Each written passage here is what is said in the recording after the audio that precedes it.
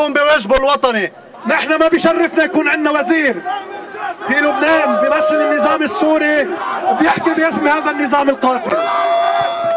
بدنا إياه يفل اليوم قبل بكرة. هيدي السفارة وهذا السفير يلي تحولت إلى وكر.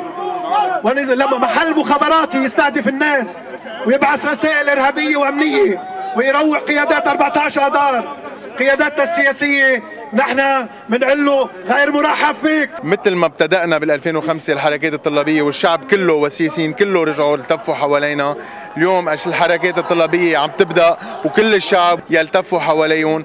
ولنقول إنه مش بس السفير السوري لازم يفل مش بس وزير الخارجية لازم يفل هيدي الحكومة كلها يلي هي مصدرها سوريا ويلي هي مستمدة قوتها وشرعيتها ووجودها من قبل النظام السوري لازم تفل على البيت تتركنا نعيش بحرية وكرامة بهيدا البلد. هذه التظاهرة تلت تظاهرة لطلاب الكتائب أمام وزارة الخارجية الأسبوع الماضي ولفت طلاب 14 أذار إلى أنها تشكل بداية سلسلة من التحركات السلمية التي تبقى تحت سقف القانون.